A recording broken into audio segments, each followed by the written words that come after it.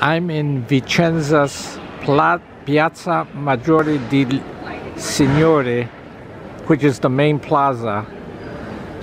And uh, you got this spectacular tower right next to Palladio's Basilica Palladiana, which is uh, just an amazing structure. It, I believe it is now a museum.